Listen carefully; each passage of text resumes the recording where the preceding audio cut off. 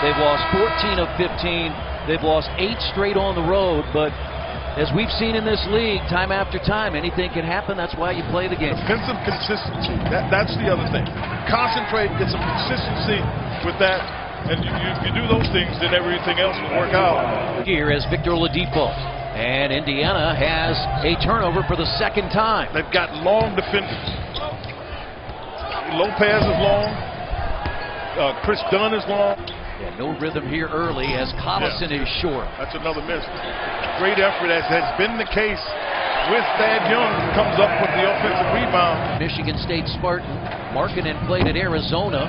That's short. Lopez the rebound and scores again. He has got long arms, big body. Team back in November. He's averaging 16 in his last four. Seems to be getting more comfortable as Lopez inside. It's 8 to 2 Bull. Just need to see one go in the basket. Five straight games in double figures for Turner, averaging 16 in that stretch. And that's a three by Denzel Valentine. Oladipo cuts off Markkanen. Very nicely, as I said. This is the one that's going to be a bit of a tough challenge because they're eventually going to try to see it primarily. Now, what's interesting when you look at the numbers from the Bulls, 11 times they have led after a quarter this year. 11 times. Lopez a little nudge out of the way. And now Turner flies in, finds Bogdanovich, who's open for three. You go. That's the kind of rhythm you want. That, that Fred Hoiberg had to take a timeout. The Bulls and with the Timberwolves was in the front office at Minnesota. He was the coach at Iowa State.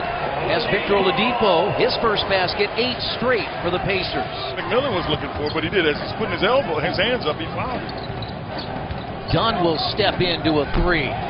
But that, that's a risk you have to take, kind of uh, resurgence for Victor Oladipo, who's having a tough time making shots. And now Dunn to the basket, three-point play opportunity for the Bulls. Well, one of the, you know, one of the things that McMillan wants his guys to keep people out of the paint. Just got away with the travel, move it. There's a lot of dribbling already. Oladipo from three-point range. You give him some latitude. That's a lot of dribbling. Season progresses. I, I can't stay at eight. Oladipo in rhythm. And Dunn, former Big East Player of the Year at Providence. Played last year at Minnesota. Portis for three. For 10 right now. I was trying to check something out while you were talking. I wanted to be sure the Pacers had five turnovers here in this first half. Well, they are trapping out front on Corey Joseph. The Pacers are having a hard time making jump shots, so they're taking a chance that you're going to get the right guy shooting one of the points of education both last year and the year before. Yeah, they've got a lot of analytics on how long the calls have been made as Sabonis hits the jumper. Bogdanovich starts the second quarter with Joseph Stephenson, Leaf, and Sabonis. Oh, that's a big time move there. He just big time move. Can you make plays? Can you create space? You see Grant is there. You see the little step back. That's how you create space where you can get the shot. Averages 15 per game. He's the Pacers' second leading scorer on the year. Indiana has six players that average 12 points or more, and that was a terrific pass by Valentine. By Bogdanovich. I'm telling you, he's a passer. He, Valentine is a passer. Lance Stephenson fell asleep.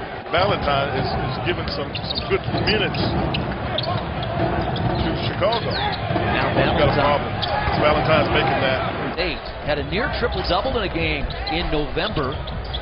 And now Stephenson drives and challenged and scores. What a terrific point. Picked up by Zipser. That was the word. He threw it up. And Valentine again. On when he was younger. Jerian Grant, Zipser for three, and boy, are they in rhythm. They're in rhythm. They're getting wide open shots. 39 first quarter points. Yeah, they don't have a closer, partner. I mean, they don't have a guy. I mean, that's the one thing you got to try to figure out. You got to put basket there by Sabonis. The game you want to make some plays. But Donovan does a nice job off the bounce pass, which you don't normally see. Job by Turner to keep a body on it. Let it go. He fumbled it. He was behind it. Step back three. Young. He made the right play because it was behind him. Such a wild risk, especially if they don't go in. Pacers need to stay solid defensively here. Just so long. He is so long. Get there. Pacers shooting 38% as Oladipo gets inside. Too quick. But Thad can't quite get it to go, partner.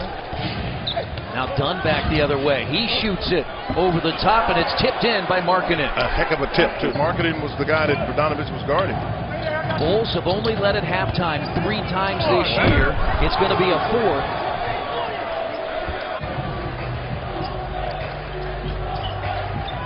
Oladipo back the other way, gets it. Nice screen that by Miles Turner, too. For the Great Bulls. defense there. Bad steps out with a tough position. And then Holiday hits the three. They trail by 16. Yeah, they switched it. Now they're going to see can they get a matchup that works for them. Yeah, that Corey Joseph made a heck of a play out of it. They switched it going up to set the screen. 15 from three-point range. They've got four to shoot. Gotta go help Miles. That was Joe Young's fault. You can't let him turn baseline. Played Pacer basketball. We had eight assists, the lowest total we've had all year. So guys' minds aren't right in that respect. This is really about effort. This has nothing to do with making shots or anything like that. Just need a better effort. Markkanen over the top. And, you know, that's one thing that we've not had to worry about watching this team all year long. And you have to have the collective mentality of how to deal with these situations. Though everybody is struggling with these, um, this is what you have with this team, and we'll see how they come out. Now, Turner has come out. Your deficits against both the Detroit Pistons and the Toronto Raptors. Those were back-to-back Fridays. The sweeping hook by Lopez. And then uh, layups and, and little jump shots right at the rim. The ball's going to have to start moving more. And Oladipo for three. Well, that's okay with Victor Oladipo. Nice momentum swing for the Pacers. Timeout call by Fred Hoiberg. Valentine. And they come back with a jumper from Kris Dunn. At times they have shown the ability to score. Shot clock. Collison inside. And Peterson's shot clock was at two by the time he left laid it up. This year, DC has the number one assist to turnover ratio at 4.3.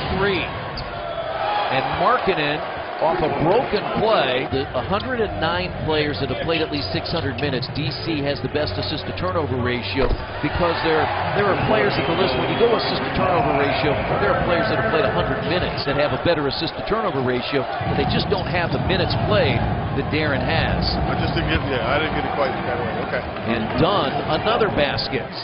Listen, he's got uncanny timing for blocking shots.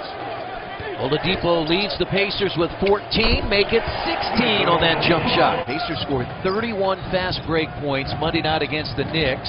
That's blocked by Turner, but Markkanen again picks up a loose ball. They're going to deflect some, or you're going to deflect some, but you still have to find a way to get it. Bogdanovich steps back and hits a three. 10 Points tonight. 20th time in the first 25 games he's been in double figures. Valentine Talking about him, Markkanen hadn't even been a factor. Bogdanovich What is turns the the corner. Collison for three. Swinging, keep it swinging. And Collison unguarded. It opened up for him. That's why Hoiberg called a timeout. Now Nate McMillan stressing defense during the huddle, saying stay solid defensively. Dan Burke added challenge and rebound. No challenge there. Holiday. They set a screen for him. And he did a really good job in Holiday. Now the Pacers just have to knock down some shots. They got then you got to get back on the other end. But you now got a two-three thing going. Plenty of time, get some stops. Indiana's hit four of seven from behind the arc in the quarter. As Dunn gets the roll. Long enough closeout for you to drive it. Victor two of six from behind the arc. He is seven of 12 on the night, and that's Kris Dunn again. 12 point lead. Two minutes to play in the third quarter. Bobby Portis has come in and scores. And that's really what this is about. Bulls come in again. Last in the league is Hollison scores. He has all 14 in the quarter, hitting 53% and 47 from three. I mean, they've made like their last seven shots. Full Jim instead. His coach would meet him there sometimes in the middle of the night. And Stephenson, the basket to start the quarter. Pacers have won two straight, three of four in the series, two straight and eight of ten against the Bulls. Here at Bankers Life Fieldhouse as Bobby Portis has 12. Length. 87-71, a 16-point lead. They're, they're athletic, Chris. Thank you. Good to see one go down. It, was, it wasn't looking good if that doesn't go down. It'll Be the second time if this stands still that they would have not led in a game. Another 50-50 ball. Got to take a timeout. You got to get the 50-50 ball. So it's either, but the Pacers definitely going to have to focus on the defensive end and then get some scores, obviously. Fans are waiting for something to happen. That's a good start. Dunk from Domas Sabonis. 500 or better teams this year was that win early in the year in Orlando. Here's a long three by Oladipo. Misdribbled the ball and hit him on the knee. Came back to him, but I mean, Chris, that was a long three. Reverse the basketball. Victor They got again. partial block. They didn't call it. You know, I thought they'd call a foul, but that's what they said with Nwaba. He's an athlete. Zipser Huge in play. the corner. Huge play there. That's a five-point swing. Now Oladipo attacks at the rim and scores 21 for Vic. Nice hesitation with the left hand. They've been taking, Chris, which is driving kick threes. Sabonis has it knocked out by Dunn, who came to help Lopez from behind. Let's get it and move it. Oladipo drives to the rim, reverse layup, tipped up and good by Young. Yeah, good job by getting it to the rim. Shot a little bit. You got guys standing open. Young drives on Market, and Good that's play. Bogdanovich. Really good play. Really good play. He by the Pacers. He's got him tied up.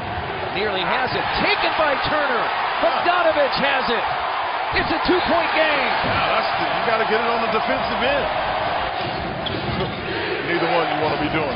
I mean, you want to steal, you don't want to foul. Dunn gets inside and scores. The tough part about it, Bitch. Good recovery by Holiday. but they there were too many Pacer players in the corner. That's blocked. Five on the shot clock. We, what we were talking about earlier, you got to have somebody you get that can make take make a shot. Here's Joseph. Hits. Took a, took a tough one. He, he's a winning player. Seventh year, the Canadian from Texas blocked. It's Goes all the Pacers ball. Oladipo turns the corner on Holiday. Lays it up. Missed it. Boy, he got no call there. Time. Shot clock at four. Basket. Falls down. Oladipo the steal. Don't have to rush. You have to rush. Here's the Oladipo win. for the lead. Oh, the. Indiana has the lead on a three by Victor Oladipo. Antonio Spurs comes up with a loose ball. One of the best in the league early in transition threes. And the Pacers with 30.1 to play. Lead 97-96. Dunn has been good driving. Great Step back defense. jumper. In and out, no good. Great Pacers have it. Right, uh, right.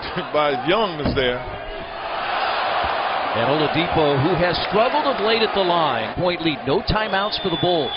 Yeah, they got to push it. They, they got to push it. On time. Great job by Miles Turner. He got out there. Pacers are terrific on defense. That made the difference. That last little stand there, outstanding, making a defensive play when you have to. Victor Oladipo ensuring the fans.